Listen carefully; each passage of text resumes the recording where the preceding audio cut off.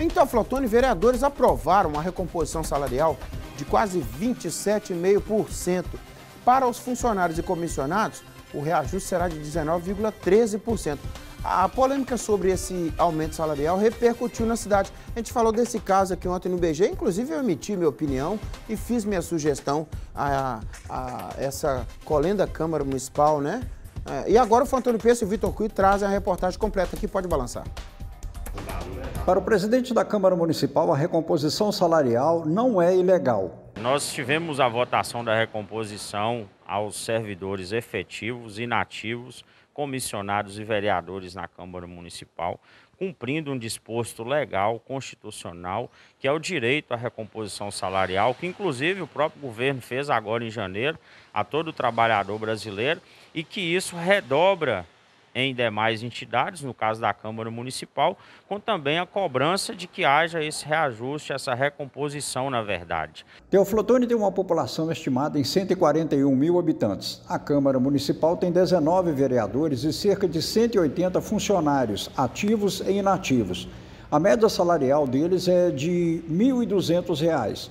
De acordo com o presidente do Legislativo, o rendimento estava congelado há mais de 10 anos. Na Câmara Municipal, servidores efetivos vinham há três anos sem ter nenhum tipo de recomposição.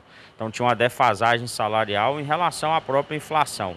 Os demais servidores em cargo de comissão e também vereadores tinham mais de quatro anos sem recomposição. Então era uma pressão já, existia essa cobrança quando nós assumimos a gestão da casa e fizemos várias reuniões e discussões internas para que se encontrasse a maneira de recompor essa que seria o subsídio e também as remunerações desses profissionais. A população ficou na bronca de saber do aumento. Vou perguntar para o senhor aqui, o senhor é a favor desse reajuste ou recomposição de salário para vereador e funcionário da Câmara? Eu sou contra. Por quê? Eu sou contra pelo seguinte, pelo a carga horária de um vereador, entendeu? Eu acho que pelo que ele ganha, é o suficiente para a sobrevivência de um vereador numa cidade igual Teoflotone, pela crise que vivia o país, entendeu? Então eu acho que é o suficiente o que ele ganha para a sobrevivência dele e manter até a sua família. Então eu, eu não acho certo o reajuste para o parlamentar nesse momento. Eu acho isso um absurdo, um total absurdo, uma, fora, uma falta de respeito para com a população de Teoflotone e de todo o Brasil, porque fatos como esse não acontecem só aqui não. Está acontecendo em vários outros lugares, onde eles eh, totalmente desprezam a opinião pública e fazem. Que bom seria uma pessoa pudesse votar você mesmo o seu percentual de aumento de salário. Seria muito interessante, né? Esse advogado diz que a recomposição salarial aprovada em regime de urgência na Câmara é legal. Olha, para reverter essa situação, deveria acionar o Poder Judiciário para tentar uma medida para reverter isso aí. Né? É, vale ressaltar que esse aumento é um aumento legal, a lei permite esse aumento, mas em contrapartida é imoral.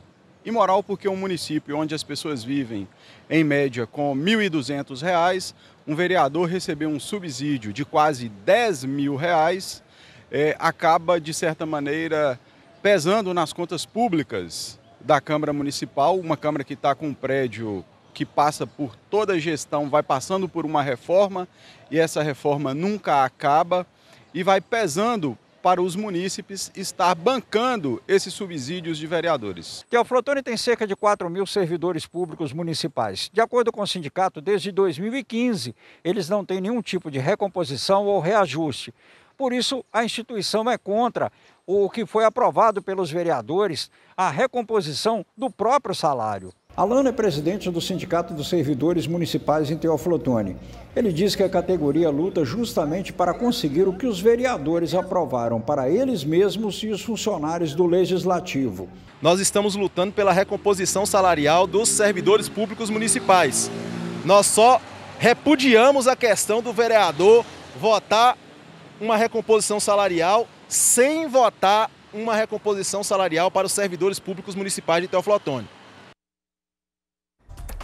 E reafirmando o comentário que eu fiz ontem, em momento algum aqui a gente usou a expressão é, ilegal, né? Em momento algum no meu comentário eu usei isso. É, eu, e pelo contrário, Eu disse, é legal porque a lei autoriza esse aumento do subsídio. Eu disse que é imoral. Concordo com o entrevistado ali. A Câmara vai rever isso, eles são inteligentes, vão rever isso.